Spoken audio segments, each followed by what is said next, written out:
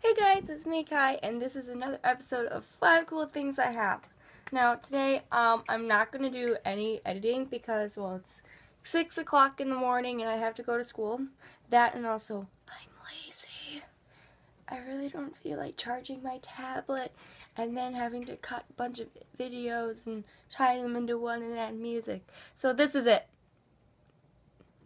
So, for the first item today, it is I talked about it in the last video I said.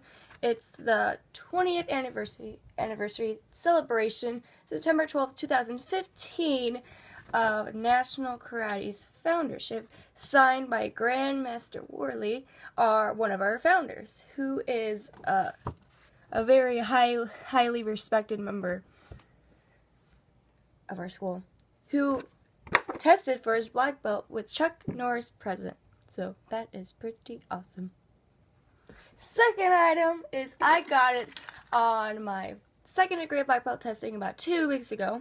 It is another keychain, just like my other one, but this one has January 16, 2016 for my brand new second degree black belt to hang up wherever I please. Third item, here are these rocks that are magnetic.